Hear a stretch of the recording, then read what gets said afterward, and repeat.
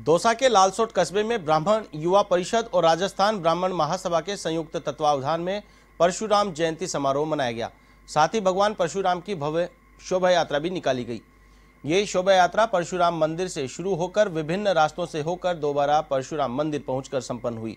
इस मौके पर ब्राह्मण युवा परिषद के अध्यक्ष भानु प्रकाश चतुर्वेदी शिव शंकर जोशी, पूर्व चेयरमैन दिनेश मिश्रा सहित कई लोग मौजूद रहे।